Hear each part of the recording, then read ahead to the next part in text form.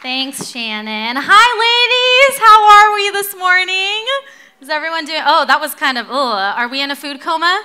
This sounded like we were in a bit of a food coma, but those crepes were amazing, were they not? Can we thank our food committee one more time? Well, we, uh, as the women of Compass Bible Church Tustin, if you are here as a guest this morning, we are so thrilled that you could join us this morning. Um, and it's a very special day for us because not only is this our second annual Christmas and Crepes, which is really exciting that we're on starting year two of all of our traditions, but it also is really the beginning of the Christmas season here at Compass Tustin. So we are just so thrilled that you joined us this morning, and we definitely hope that you'll come back and come watch our darling children, mine are in it also, um, but our darling children perform in our kids' Christmas musical, which is the weekend of the 17th, and then come back. Um, don't miss our Christmas Eve services, which I know Shannon has already discussed. But the holiday season is upon us. Who is feeling it already? Anyone? Anyone? Yes. Who's decked their halls already? Anyone who's got their tree up already? Just a few. Wow, I thought there would definitely be more than that. Our halls are decked. We're going this afternoon to get our tree, so it is, we are in the full swing of all the Christmas things.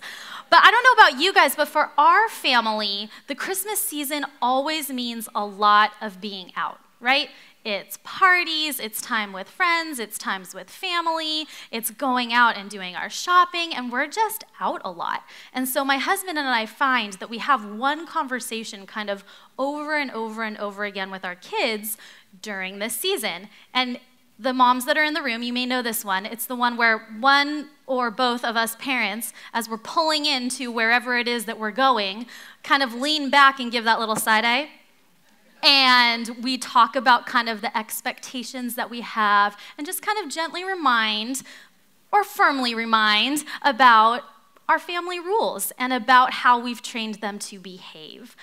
But honestly, that's a conversation that we have all year long. It just feels like we have it almost on a daily basis during the Christmas season. But my kids have really been trained since the time they were little, especially my girls. My girls are 11 and 9, and then we have our 14 month old boy. And the girls have really been trained since the time that they were able to speak that when we give them a directive or when we ask them to do something, that we want their response to be yes, mommy, or yes, daddy, without delay. Now, I would be lying I'd be a big fat liar if I stood up here and told you that they nail that 100% of the time. Sadly, they don't. It's been like 11 years of training. Why is it taking so long? I don't know. But they don't nail it 100% of the time. But when they do, I always have this response to them and they roll their eyes at me. I say, oh, music to my ears. Yes, mommy. When they have a heart that is just ready and willing to quickly obey.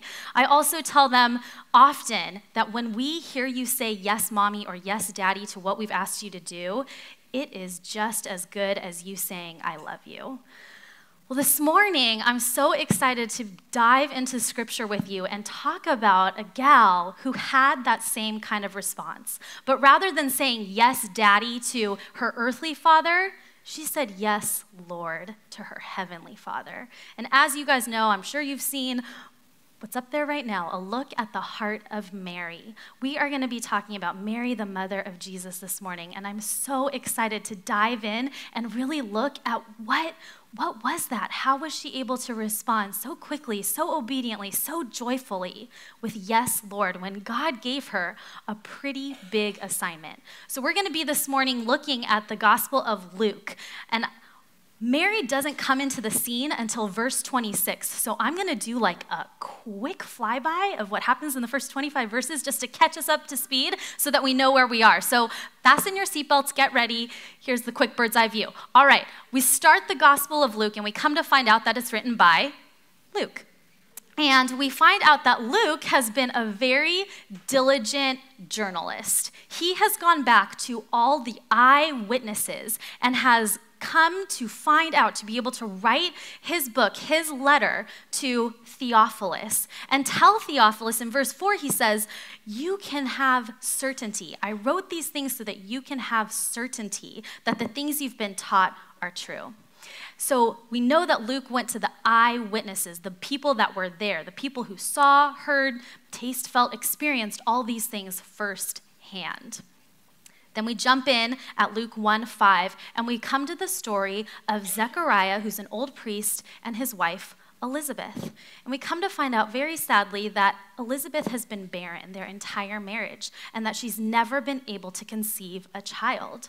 But miraculously, an angel appears to Zechariah and says, Zechariah, Elizabeth, who has been barren, will no longer be barren. She's going to conceive and bear a son, and you are to call his name John. And he is going to be the one, that voice crying in the wilderness, that prepares the way for none other than the Messiah.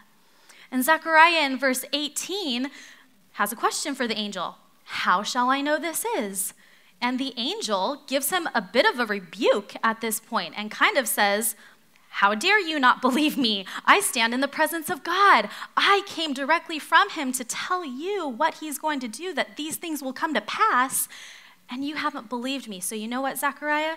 You're going to be mute until the baby is born because you did not, you failed to believe, you failed to trust what God was going to do. So, sure enough, the angel leaves Zechariah, and the things that he says are true and they come to pass. Zechariah is unable to speak, he's mute, and we can presume that a couple weeks or a few months later, they come to find out that Elizabeth is indeed pregnant.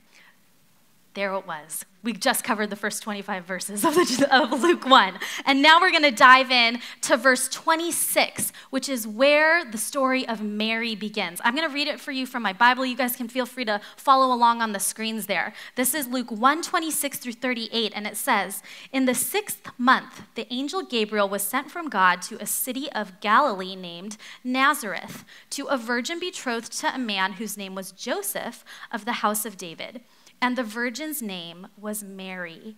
And he came to her and he said, Greetings, O favored one, the Lord is with you. But she was greatly troubled at the saying and tried to discern what sort of greeting this might be. And the angel said to her, Do not be afraid, Mary, for you have found favor with God. And behold, you will conceive in your womb and bear a son, and you shall call his name Jesus. He will be great and will be called the Son of the Most High. And the Lord God will give to him the throne of his father David, and he will reign over the house of Jacob forever, and of his kingdom there will be no end. And Mary said to the angel, How will this be since I am a virgin? And the angel answered her, The Holy Spirit will come upon you, and the power of the Most High will overshadow you. Therefore, the child to be born will be called Holy, the Son of God.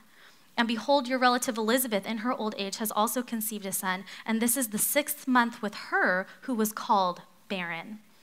For nothing will be impossible with God. And Mary said, Behold, I am the servant of the Lord. Let it be to me according to your word. And the angel departed from her. I am so excited to dig into this passage of scripture with you ladies this morning because I think that sometimes we can be tempted to just gloss over so many incredible details about this account or we may be tempted to think of Mary differently than we ought to, how the Bible actually portrays her. So let's hop back into verse 26 and go back to the beginning of that passage. And right out of the gate, there is a ton of information that we can gather here about who was the biblical Mary. In verse 26, it says, In the sixth month, in the sixth month of the year, no, in the sixth month of Elizabeth's pregnancy that we just learned about. So when Elizabeth was six months pregnant, God sent Gabriel to Galilee, to a city called Nazareth. And if you look up here on the screens, I've kind of shown you here where Nazareth is. It's kind of in that pullout where uh, Galilee is, because Galilee is showing you the region there, and then Nazareth um, is kind of up there on the whole map on the north, in the north region. There it is, Nazareth. You know the thing about Nazareth? It was actually like a really small town. You actually kind of more like a village, really, than a city or anything else. It was very nondescript, kind of this unmentionable dot on the map. In fact, there was literally nothing written about it in all of Israel's history until this very moment. You, Nazareth is never mentioned, mentioned in the Old Testament. It's not mentioned in any of you know, Israel's historical documents until now because it was just kind of this tiny, nondescript little town. So that's where we are geographically. Verse 27 says um, that Gabriel came to a virgin betrothed to a man whose name was Joseph of the house of David. Okay, right there, we just read like a handful of words, but there is so much information right there. Let's first of all start with the fact that she was betrothed. Now, again, I said that sometimes we may be tempted to think of Mary differently than we ought. And as 21st women, uh, 21st century women sitting here on the other side of the world, you know, 2,000 plus years removed from this event, we may be tempted to conjure up images in our mind of a 25 to maybe even a 35 year old woman who is engaged to be married. Maybe we think she's finished high school, she's finished her degree, she's got a few years of her career under her belt.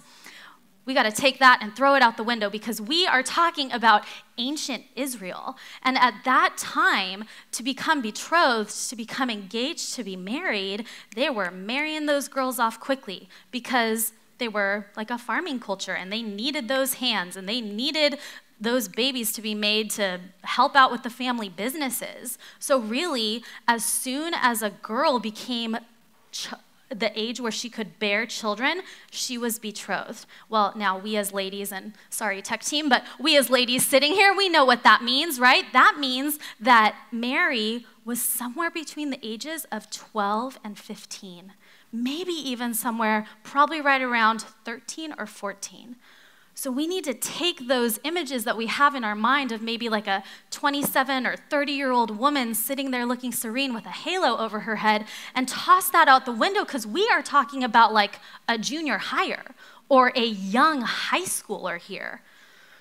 We also find out um, as we study about the betrothal period, that this was as good as a marriage. When they entered into a betrothal, it was really a binding contract between these two families. In fact, it was so binding that in order to break an engagement, one would have needed a certificate of divorce. That's how important the betrothal period was. You would have had to divorce, it's not just a hand back your ring and peace out and call it a day. I mean, this was like legal steps that had to be, take, be, had to be taken in order to break off an engagement. Um, the other thing that we find out about the betrothal period is that it lasted a year long. And that kind of served two purposes. One, it was to really give the young couple, who was most likely in an arranged marriage, an opportunity to get to know each other.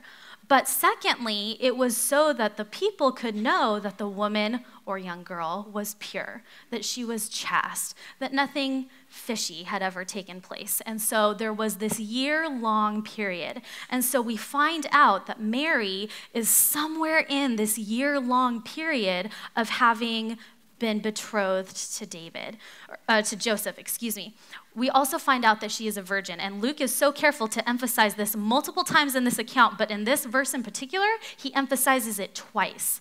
He says that she's a virgin betrothed to a man whose name is Joseph, and then he says, and the virgin's name was Mary. He wants it to be very clear that she was pure, that she was chaste, and that nothing fishy had ever happened the next thing that we find out is that she's engaged to Joseph. And when we go back and we look at all of the Gospels, the other three, in comparison with this, we come to find out that Joseph was a carpenter.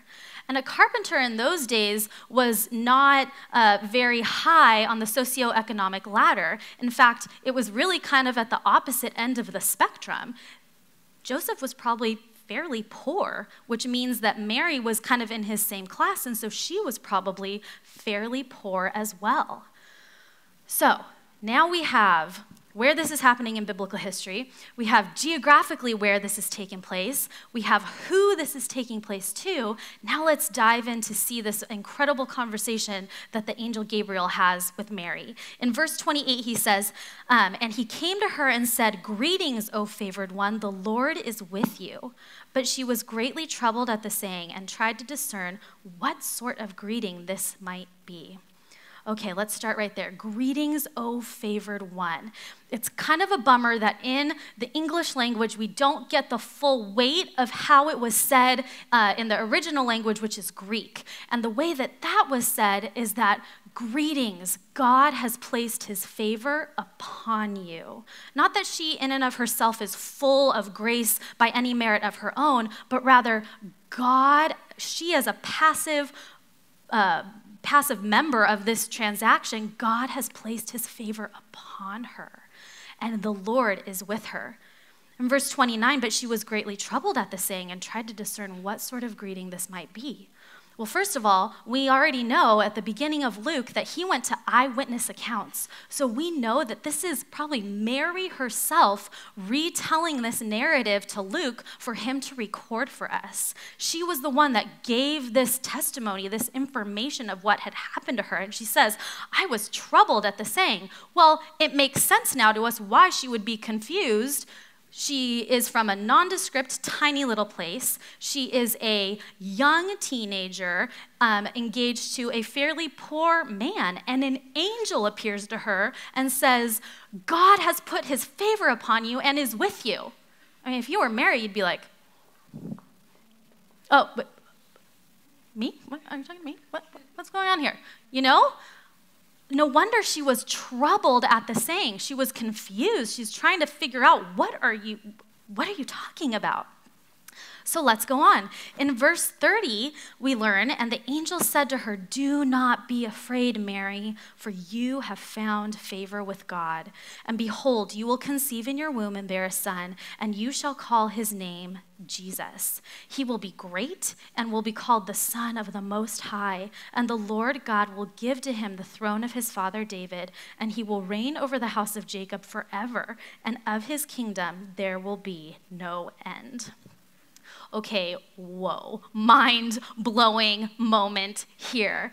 Gabriel just announces to Mary, this young girl, that she is going to be the woman to carry the promised Messiah, the promised anointed one, the promised Savior who all of the Old Testament, all of the prophets, and really all of Israel's history has been waiting for this moment. And now, this young girl in this tiny little village finds out you're going to be the one to bring him into the world. And we know that Gabriel is talking about the Messiah because for those of us who were here last year, we studied a very similar passage that was written in Isaiah 9 6 through 7, hundreds of years before this ever happened. Let's read it together really quick. Uh, this is Isaiah 9, 6 through 7. For to us a child is born, to us a son is given, and the government shall be upon his shoulder, and his name shall be called Wonderful Counselor, Mighty God, Everlasting Father, Prince of Peace. Of the increase of his government and of his peace, there will be no end. Wow, that's pretty much exactly what the angel is saying here, right? And of his kingdom, there will be no end. This is the Messiah. This is what they have been waiting for for centuries upon centuries, and he's about to make his entrance into the world. Verse 37 And Mary said to the angel, how will this be since I am a virgin? And the angel answered her, The Holy Spirit will come upon you, and the power of the Most High will overshadow you. Therefore, the child to be born will be called Holy, the Son of God. And behold, your relative Elizabeth, in her old age, has also conceived a son, and this is the sixth, sixth month with her who was called barren. For nothing will be impossible with God okay, this is really interesting because if you remember, like we talked about in Luke 118, Zechariah had what seems at first like the exact same response, and yet when we dig a little deeper and look at it, we'll see that these two questions that both Zechariah and Mary said to the angel were actually worlds apart. So I'm going to go back really quick and look at it. When Zechariah says, How shall I know this? What does the, what's the angel's response? He rebukes him. He says basically, shame on you for not believing, and then he t- tells him he's going to be mute. That's because Zechariah's question was born out of disbelief. Zechariah's question was born out of a spirit of saying, prove it. That's not going to happen. However, on the opposite end of the spectrum, we have Mary, who is very interesting. It's like she immediately understood that what Gabriel was implying to her was that these things were going to happen immediately. But she knows that she's in this betrothal period where she's not having relations with Joseph, so how is that going to happen? Mary's question was not born out of disbelief, but out of genuine curiosity. And we know this to be true because of the way that Gabriel then responds to her by legitimately answering her question and explaining to her what is going to take place. So he says, the Holy Spirit will come upon you, and the power of the Most High will overshadow you. Therefore, the child to be born will be called Holy, the Son of God. Again, there it is. This is fulfillment of prophecy. Again, we go back to the book of Isaiah because in Isaiah 7:14 it says, "Therefore the Lord himself will give you a sign. Behold, the virgin shall conceive and bear a son and shall call his name Emmanuel." Remember, what Isaiah wrote was like hundreds and hundreds of years before this ever took place in this tiny little town of Nazareth. This was the fulfillment of prophecy. And Gabriel tells Mary that her child is going to be called holy, different, set apart, perfect, unlike anyone else, because he's the Son of God he goes on to say nothing is impossible with God. And of course, nothing is impossible with God because he's the creator. He's the omnipotent creator. He doesn't need the male contributor to be able to create life in Mary's womb. And in fact, says, I'm not going to use that. I am going to create life inside of you without a male contributor. And so this child will be called the Son of God. And then we arrive at Mary's response to the angel. In verse 38, she says, Behold, I am the servant of the Lord. Let it be to me according to your word. And the angel departed from her sometimes I think that for us, it's so easy for us to just quickly read past that. And we're almost in one aspect like anticipating that Mary is going to say that because we've read it so many times. But I think we need to pump the brakes for a second and stop and realize what this meant for her to say that she's the servant of the Lord and she's ready to take on this enormous assignment. See, for those of us who are in the room that are moms, whether that happened naturally or through adoption or however it is that God grew your family, there is a moment in every mother's life where they realize, I'm going to be a mom. And for those of us who have experienced that, it's earth shattering, right? It completely changes the way you see everything, it completely changes the way you think about everything. And in that one moment, it's like you have a million thoughts running through your head and you automatically know and understand the weight of how your life is going to change forever because you're going to be a mom. Mary had that too. Mary experienced that too, just like all women. She understood that by accepting this from uh, God, this special assignment, that she was going to have the stigma of an unwed pregnancy on her which in those days was way worse than it is today. She didn't know how Joseph was going to respond at that point. Remember when I said that a, a break of a betrothal would require a certificate of divorce? And if she were to be found to be unpure, I mean, that was like horrifying, life altering, never recoverable circumstance in a, in a young girl's life. She didn't know how God was going to work that out. That's not the question she asked. That's not the instructions that the angel gave to her. Oh, don't worry, we will cover Joseph. Don't worry about it. She didn't know that in that moment. She didn't know how her family was going to respond. And to be honest, aside from her relative Elizabeth, who she goes to visit immediately after this, there's really no written account of how Mary or Joseph's families responded when they realized that Mary was with child before the betrothal period was over. So we still don't know what she may have suffered in being obedient to God. Last, in the uh, culture at that time, there were actually laws that would have given people permission to stone a woman if she were found to be impure. impure. Now, that rarely happened, but it was definitely a possibility because it was the law. They could have done that. And so when Mary says, I am the servant of the Lord, let it be to me according to your word, we need to stop and realize the great cost that didn't cause her to blink or stop for one moment. It's that yes, dad, immediate obedience, joyful obedience. Then, what's even more amazing about this is that she says, I am the servant of the Lord. And this Greek word that she uses here for servant is doule, which is the female version of doulos. And it's actually a little bit stronger in the Greek. It's not just servant, it's slave. I am the slave of the Lord. Why would she be willing to submit herself to a Lord that was asking her to take on this, this important assignment, but at great personal cost? I think it's because Mary knew who she was saying yes to. And we see that in her song of praise, which is later in the chapter of Luke 1. It starts in verse 46 and it goes all the way to verse 55. And it's one of the most beautiful and eloquent and theologically rich songs in the whole New Testament. Mary had a deep understanding of who God was. And so when he gave her her assignment, she knew who it was that she was saying yes to. And she trusted him to be faithful. And she trusted him to be good. And she trusted that this was his perfect plan for her life. Today and during this busy Christmas season, I fear that sometimes we forget who it is that daily asks us to say yes to be obedient to Him. And so I just want to take a few moments to remem- remind us of four important character and qualities of who God is and why He is the one that we should constantly offer ourselves as the slave to. In Romans, we learn that we're one of two things we're either a slave to sin or we are a slave to righteousness. There's nothing in between, it's one or the other.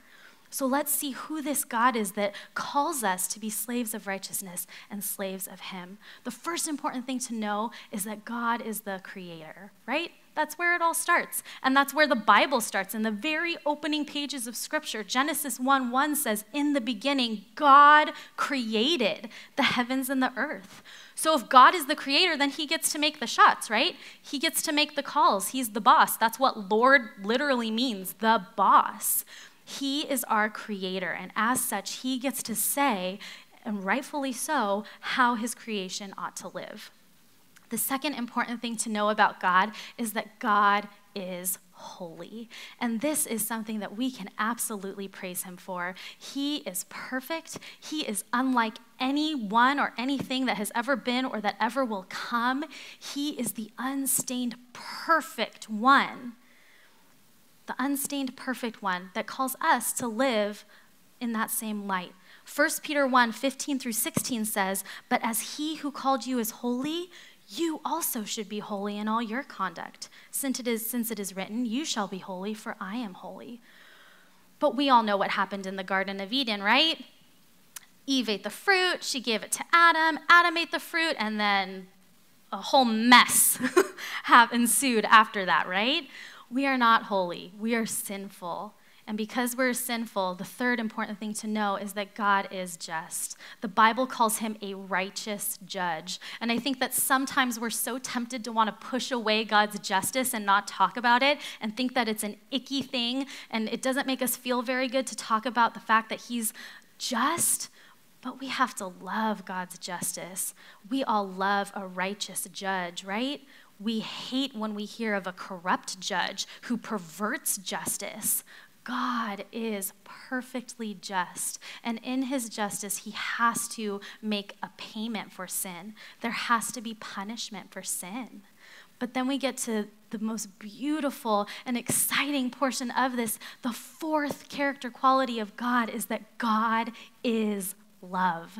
And we read in Romans 5 8 that God shows his love for us in that while we were sinners, while we were his enemies, while we were disobedient for him, Christ died for us.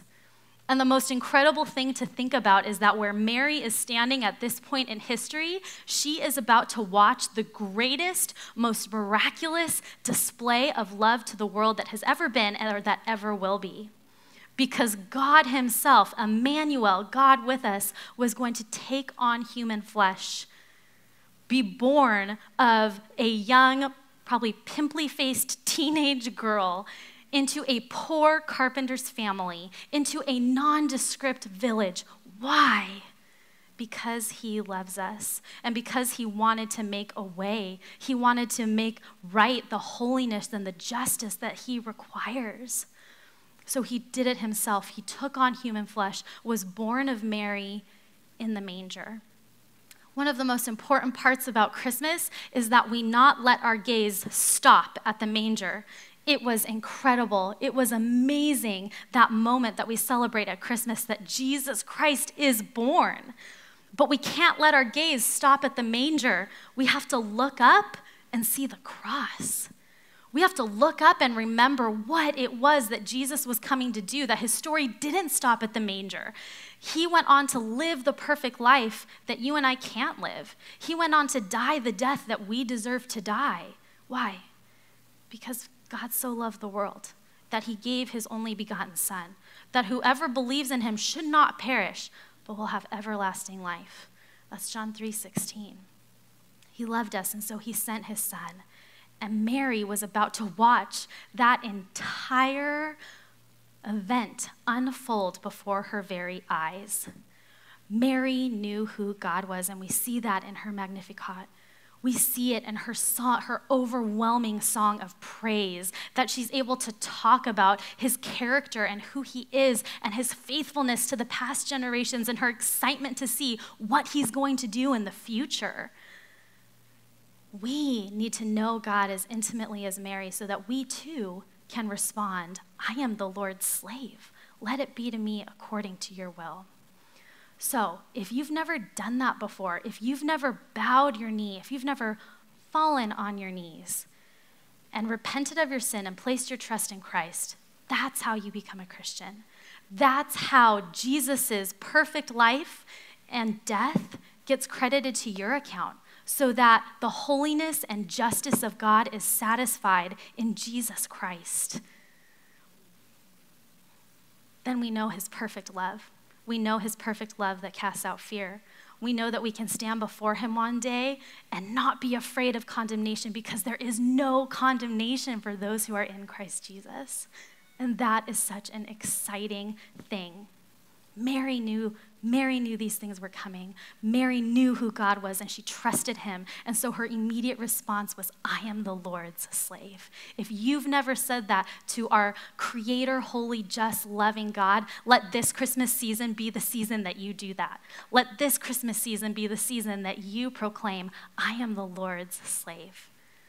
If you are a Christian here today and you have said those words, then I pray that we would not lose the wonder and the beauty of having a heart like Mary all year long, not just at Christmas time, but all throughout the year. That as we lay our head on the pillow and open our eyes every morning, that that would be our first response every morning. I am the Lord's slave. Let it be to me as he sees fit.